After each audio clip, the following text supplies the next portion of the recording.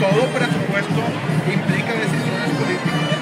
Y la decisión política que aquí se tomó junto con el Poder Ejecutivo es fortalecer uno de los pilares más importantes de nuestra, eh, de nuestra nación costarricense, pero esto también, por otro lado, respondiendo a una voluntad nacional de llegar a un 8% de inversión eh, eh,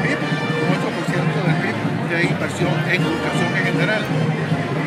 Hay algunos sectores que han argumentado, por ejemplo, de que las universidades públicas le estamos absorbiendo un porcentaje enorme a, a lo que corresponde a la educación en general. Eso yo tengo también que refutar.